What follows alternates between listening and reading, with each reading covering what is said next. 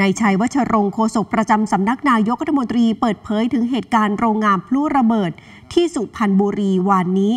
ว่านายกรัฐมนตรีและรัฐมนตรีว่าการกระทรวงการคลัง คุณเศรษฐาทวีสิน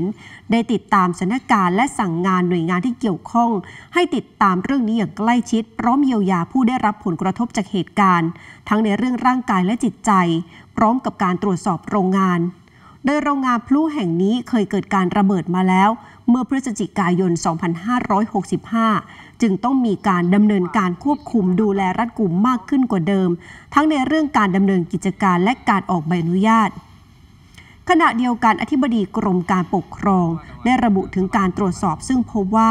มีใบอนุญาตถูกต้องตามกฎหมายตั้งแต่ปี 2564 และต่อใบอนุญาตทุกปี โดยผ่านการอนุมัติจากนายอำเภอเมืองสุพรรณบุรี หลังผ่านหลักเกณฑ์อาทิ ผู้ขออนุญาตไม่มีประวัติอาชญากรรม